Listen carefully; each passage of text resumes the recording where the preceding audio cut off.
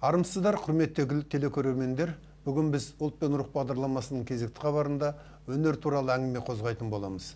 Бүгінгі қонағымыз жазушы композитор алматы облысының панфилов ауданының құрметті азаматы қазақстан республикасының мәдениет саласының үздігі халықаралық жазушылар одағының мүшесі базархан төреханұлы жақыбаев. Студияда ахмет кендірбекұлы. Арнамызға қош келдіңіз. Көңіл күйіңіз қалай? Рахмет. Жақсы.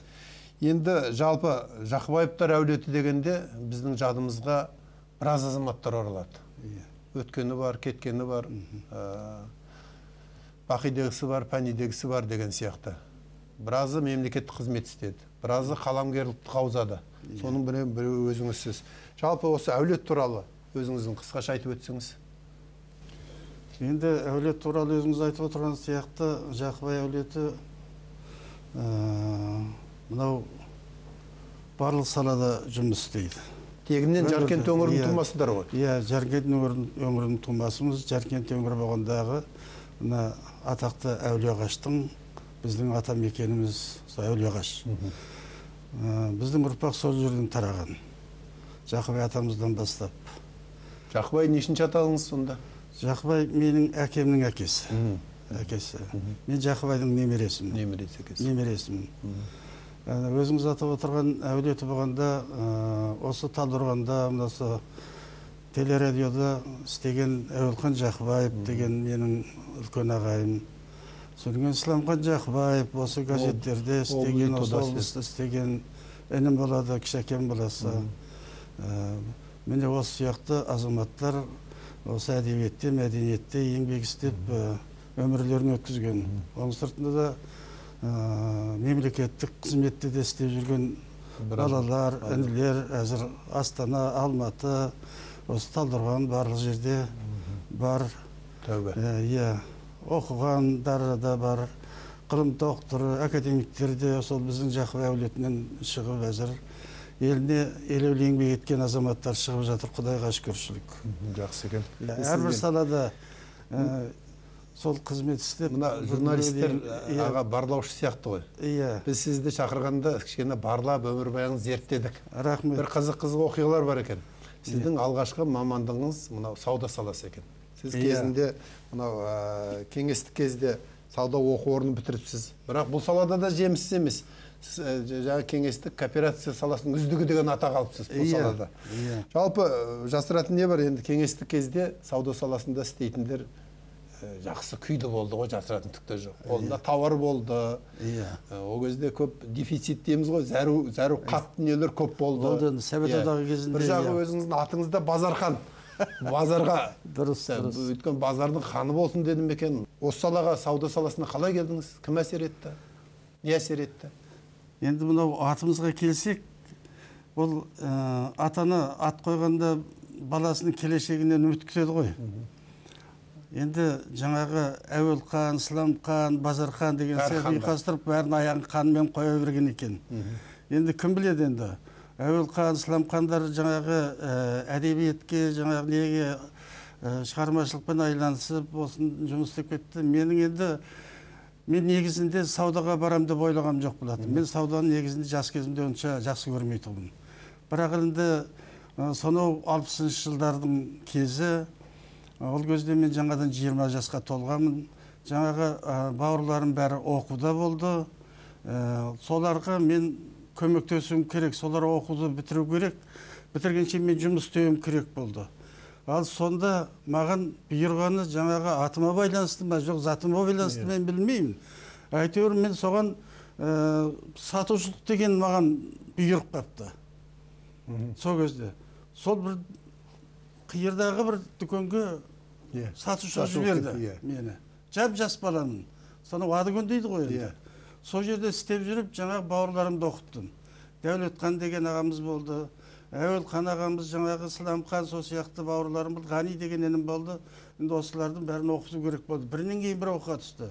Олар айтты базархан сен жұмыс істей тұр сен жассың біз мынау жасымыз келіп қалды біз оқып алайық деп соныменен сол кісілерді оқыту үшін мен қандай жұмыс болса да мен соған дайын болуым керек болды да жұмыс істеп жаңағы шешеміз бар шешеміз екеуміз сол ә, бауырларымызды оқыттық. Ал енді сол сауда саласында істедіңіз кооперацияны үздігі атандыңыз советтік жүйенің. Иә. енді оны тастап кейіннен сіз зоотехник болып кеттіңіз иә ол былай болды. Ол былай болды. Енді істегенде ол адамның өзінің жаңағы ә, жаратылысынан ба мен қандай жұмыс істесем де тиянақты жұмыс істеуге тырысатын едім тәрбием солай болды ма екен? Мен сатушылықтан ә, тұтынушылар қоғамының төрағасына шейін көтеріліп кеттім. Ал енді бір қызығы енді адам өзіне өзі отчет өзіне өзіне отчет алады ғой есеп алады. Иә. бұл қалай жұмыс істедім? Келеше ә, өткенім қалай болды деп. Мен кейін қарасам бір саудада жүріп бір ескертіп алмаппын. Анау еңбек книжкада бар ғой ескертіп алмаппын. Ал енді сол ескертіп алмай соны керемет жақсы болдым жақсы істедім. Ал бірақ маған жаңағы дала табиғат тартты жасымнан. Содан кейін ойладым да осы талдықорғандағы ә, завет техникумына сырттай оқуға түсіп алдым. Түстім де бітіре салдым. Бір екі жылда бітірдім де содан кейін бардым да колхозға барып бірінші рет зоотехник болдым. Келесі жылы мені ә, зоотехник. зап бермей қойды. Азап берме иә зап бермей қойды. Ол кезде де жаңағы ә, жұмыс енді ол адам ел- үйреніп қалған қандай жұмыс болса да сол жеріне жеткізіп дұрыстап істеп ә, ә, көзге көріну дегенді. Ол кезде де жақсы жұмыс істедім. Сол енді сол істеп жүргеннен кейін кейін енді мынау совет өкіметі тарады колхоз совхоз тарағаннан кейін жаңағы зоотехникалық жаңағы ә, жұмысымды шаруа қожалығы деген 92 жылы құрыла бастады ғой Иә, совет өкіметі иә. құлағаннан кейін. құлағаннан кейін. Соны балаларыменен бала шағамен ақылдасып отырып сендер де табиғатты жақсы көресіңдер мен де табиғатты жақсы көремін. Мына ә, шаруашылықты ұйымдастырайық деп келісіп отырып шаруа қожалығын құрып жібердік. Құрып жіберіп соны енді ол тәжірибе бар. Иә. Сонымен шаруа қожалығын құрып сол арқылы бала шағамның бәрі оқу бітірді. Жоғарғы институтты бәрі бітірді. Қазір ә, барлығы қызметте дейсіз қызметте. Тек қана кенже балам ғана мына аграрный университеттің ветеринар факультетін бітірді. Ол қазір шаруа қожалығын өзі басқарып Өзі дамытып дамытып келе дамытып отыр. Енді жаңағы менің жаңа мен енді жоғарыда айттым сіз жаңа екі саланы қамтыпсыз Иә. жаңағы. Ол енді таза ауыл шаруашылығының саласы ғой. Иә. Жаңағы сіз қамтып жатқан фермерлігіңіз болсын ал енді мына өнер. Бұл жақыбаевтар әулетін мен енді қарап білетін мен енді әуелханды да көрдім исламхан ағаны да көрдім Иә. бәрін көрдім ғой. Алдынан өттім амандастым Иә, кейінде иә. иә. Одан бергі мемлекет қызмет істегенде гүлсәруар басқа бәрімен бірге істедім ғой мен қызмет бәрін білемін сіздерді. Иә. Жалпы өнер сізге қалай қонды? Бұл өзі ата текте бар нәрсе ме? Нағашы жұрттан жоғалды ма? Қал- бұл қалай енді? Сіз мұнан басқа сала саудасын істеп жүріп зоотехник болып жүріп фермер болып жүріп өнерге қалай келдіңіз? Сол айтыңызшы. Енді өзімнің мына ата тегім қанымен келген дүние деп ойлаймын. Ә, жақыбай атам да керемет домбырашы болған екен. Домбыраны керемет тартқан адам екен. Ал енді ол кісінің баласы төрехан айтыскер ақын болған. Айтыскер ақын болған енді сол кісілерден тарадық па екен тарадым ба екен білмеймін. Өйткені мынау ә, өнердің түп тамыры ә, діңгегі болса ол діңгектен жаңағы ә, көрдіңіз бе әлгі? Бұландастырған ағаш сияқты бір жағында алмұрт бір жағында алма бір жағынан жаңағы жидесе шыққан сияқты. Бір жағында жаңағы са- сазгер жазушы ақын сол сияқтылар тарап өзі кете береді келе береді. Жаңа мен айтып тұрғаным сол ғой бұл кие ғой өнер деген. Иә. Мысалы қарасаңыз шыңғыс айтматов зоотехник өзіңіз білесіз. Иә иә.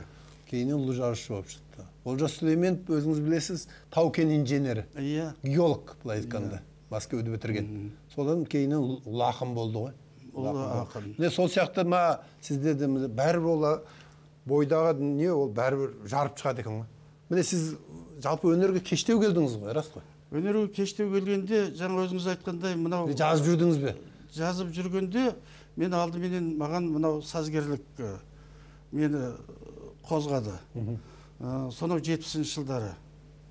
Енді бұрын мен өзім де сенбейтінмін өйткені сенбейтін кезім сенгенде енді өзіңіз білесіз әуелханаға да өлең жазады. Иә. Сламхан да шығармашылықпен айналысады. Одан кейін менің ғани деген інім болған. Қайтыс болып кетті өзіме тете. Ол да өлең жазатын содан кейін мынау ы, сазгерлік қасиеті бар. Анама деген әні бар болады оның шығарған. Өзі институтта оқып жүргенде. Соны қарап тұрып мен ауылда жүрмін ғой сонда. Мен затенкімін ол кезде зат бермеймін шаруашылықпен айналысамын. Бірақ енді табиғатты керемет жақсы көремін.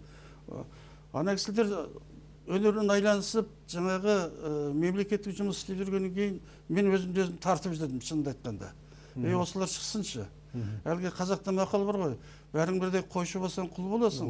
Бәрі бірдей тойшы болсаң қу боласың деген.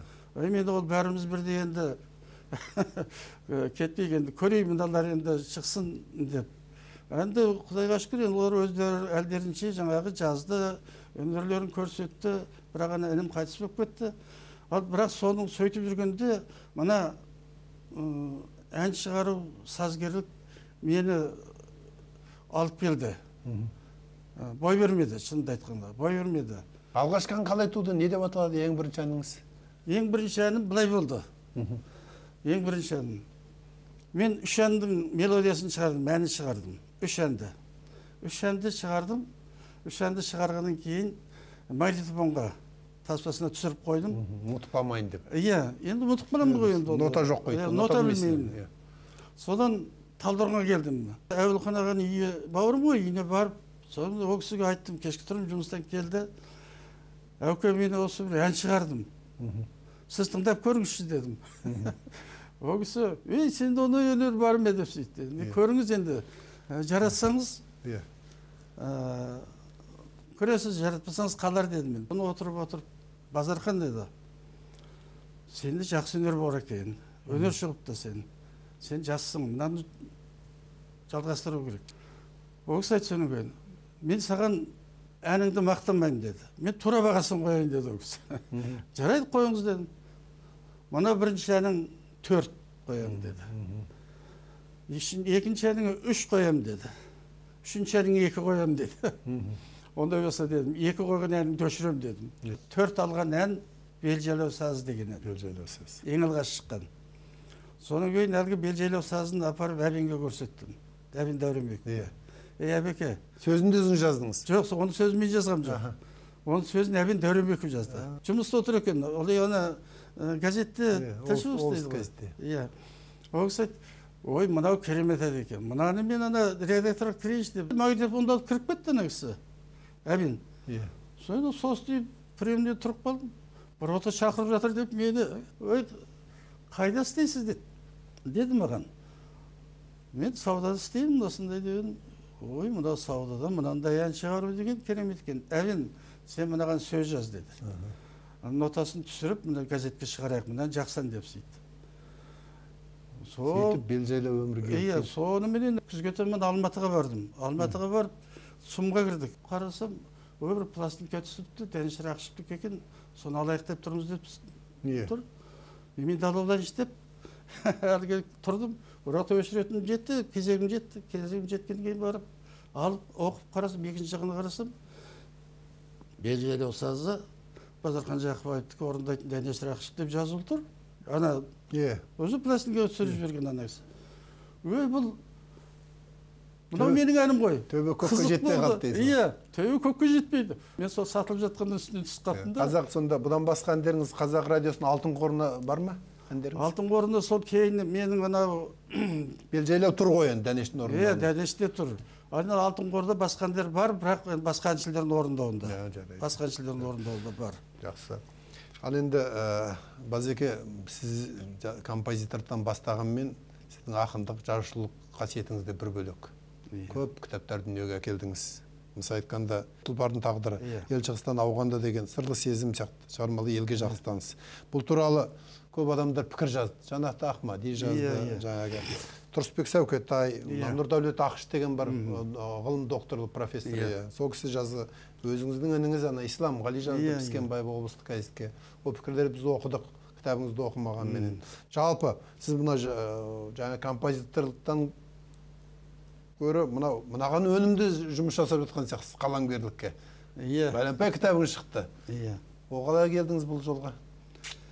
Енді мынау ақындыққа келу себебім енді ол түптен барып болып тұр ғой иә түптен. бар енді ол ақындықта анда санда мен бұрын газетке өлеңдер жазып қоятынмын оған қосымша жаңағы мына ә, музыка шығарғаннан кейін әнді шығарғаннан кейін ә, менің әніме мұқағали мақатаевтың сөзіне жазылған әндерім бар. оразақын асқардың сөзіне жазылған әндерім бар сол сияқты үлкен үлкен ақындардың ә, өлеңдері жазылған әндерім әзір мына эфирде осы мына жетісу телеарнасында алтын қорда тұр. иә алтын қорда тұр. Әзір жетісудың ұлымын деген жинағым бар жеке жинаққа Ә, тағы сол сияқты. Алдыға бір үш кітап әкеліп қойыпсыз. Иә. бұрын кітаптарыңызға қатар мынаны таныстырып кетсеңіз біздің жетісудың оқырмандарына. Бұл не кітаптар не туралы? Иә. Бұның жанры қандай деген сияқты. Мынау қош бол махаббат деген кітабым бұл прозалық шығарма ғой прозалық шығарма. Қош бол махаббат деген. Бұл енді болған оқиға жөнінен жазылған бұл жерде барлығы осы жаркенттің жаңағы жерінде өткен жаркенттің тау тасы жерінің бәрі осының ішінде жақсы келесі кітаптарыңызда иә ал енді мынау ел шығыстан ауғанда деген повесть бұл бұл өзіңіз білесіз алпыс екінші жылы қытайдан ел қашып өтті ғой сол алпыс екінші жылы қашып өткен қазақтардың тағдыры арқылы жазылған ә, сол отыз екінші ашаршылықта былай өткені бәрі қамтылған ғой мына ішінде бұл жерде екі повесть бар. Ә, қашқын деген повесть жөнінен ел шығыстан ауғанда деген екі повесть бар.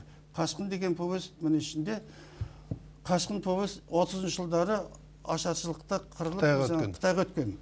Ал енді мына қашып келген адамдарды тірідей қашып келген адамдар біздің жаркенттен бүткіл осы алматы облысы ар жағындағы мына жамбыл облысына шейін тарап кетті. Қазір солардың бір Ұрпақтары бар дейсіз ғой. иә.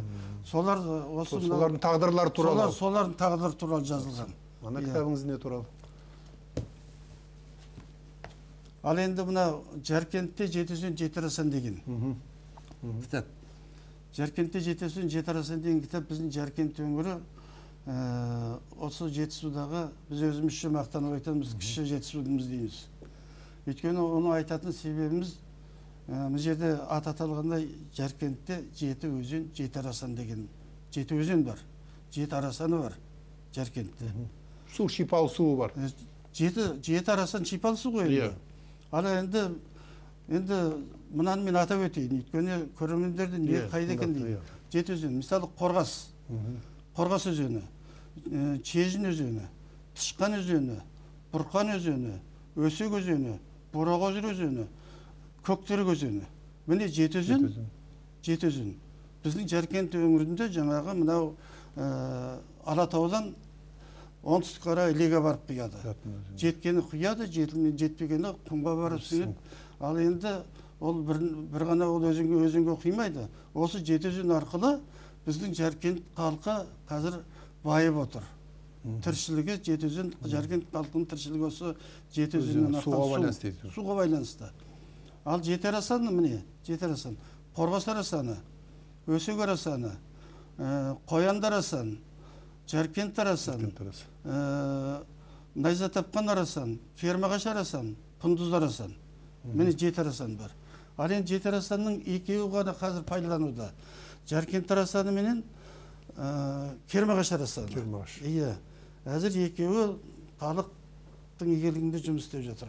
Ал қалған арасандар бұлар әзір жабайы түрде жазда барады ел денсаулығын ә, денсаулығын түзетеді қыстың күні әзір пайдалануға берілмей тұр сіз қазір жаркент жауһарлары деген бір ә, қоғамдық ұйымды басқарады екенсіз ол мына исламғали үркімбайұлы деген ақын інім бар ә, керемет жақсы ақын ә, жаркенттің түлегі сол екеуміз бастап ә, жаңағы мына ә, ахмадиева сәуле деген қыз бар ә, қасымова гүлшат деген қыз бар.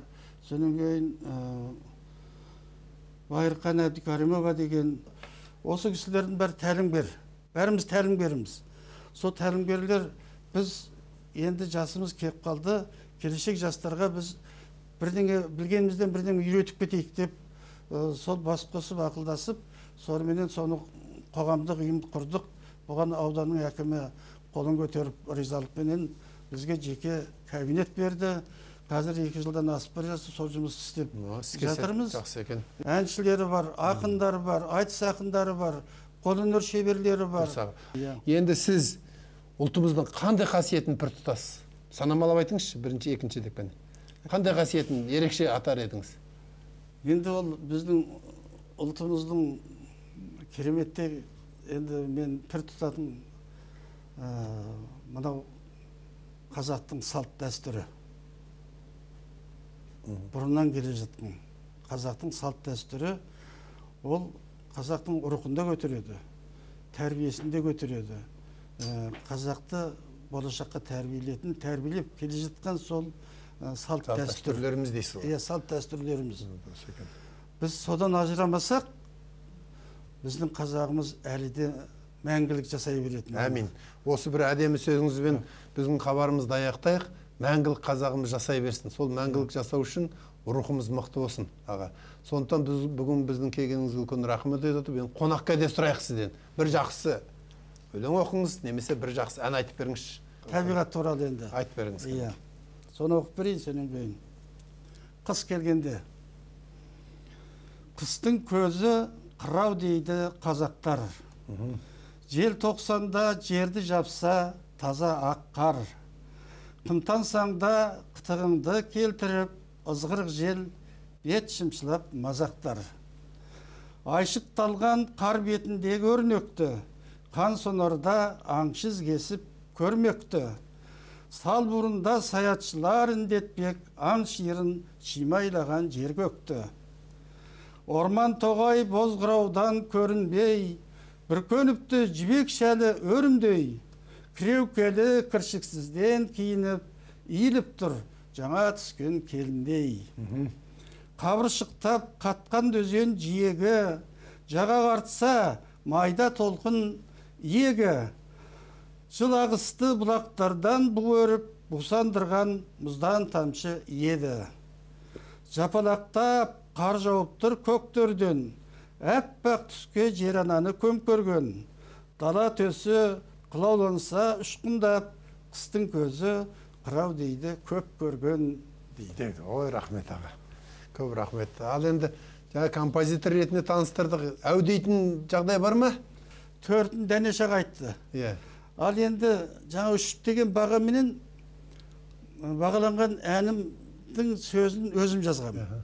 Өйткені мен жастық шағымда енді балаларым анасы на- арнап Жазған сөзін өзім Ә, жазып әні сол, сол әнді әнменен онда бір, бір, бір шумағын бір қайырмасын қайырып жіберсеңіз жарайды жарайды.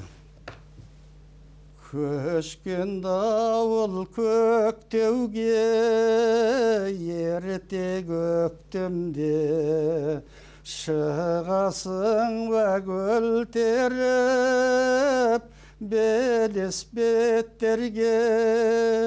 Естеусіз боп қыз ертіп суға келіп кет. Мен көтейін өзіңді аршал өткелде. Келгенімді қасыңа көзің күлімдеп ұстап едім білектен демің дірілдеп қойшы бүгін деп демің дірілдеп қойшы бүгін деп ой рахмет аға тамаша ән екен енді амал жоқ оркестрмен басқа музыкаға сүйемелдеген тіпті керемет болып Иә, бұл айтылады, теңіздің, теңіздің дәмін тамшысынан білуге болады дейді ғой қазақ. теңіздің бәрін түгел ішу шарт емес. Иә. сіздің әніңіздің алғашқы әуенінен ақ керемет кең тынысты ән екені байқалып тұр. Жүректің сөзі махаббаттың уілі бәрі сезім бәрі сезіліп тұр аға. Сондықтан үлкен рахмет. Бүгін келіп студияға келіп өзіңіздің өміріңіз жөнінде жалпы өнер жайында жалпы кітап жөнінде жас ұрпақтың тәрбиесі жөнінде үлкен үлкен әңгімелер айттыңыз. Енді сізді қария десем ренжімеңіз. Бізде қазақта мақал бар ғой нағыз дана қария ағып жатқан дария деген. Бір ағып жатқан дария екенсіз. Сол дариядан болашақ жас ұрпақ сусындап су ішіп гүлдене берсін әрлене берсін сіз жетпеген биіктерге жете берсін. Ұрпақтарыңыз көкшөптей қаулап өсе берсін. Рахмет рахмет. Амандықпен жүздесейік. Аллаға шүкір. Иә, құрметті көрермен бүгін бізбен бірге болған жазушы композитор алматы облысының панфил ауданының құрметті азаматы қазақстан республикасының мәдениет саласының үздігі халықаралық жазушылар одағының мүшесі базархан жақыбаев. Өмірдің осындай бір тамаша сәтінде аман есен жолығайық теледидар бетінде. Ұлтымыз рухты рухымыз мықты болсын ағайын. Рахмет.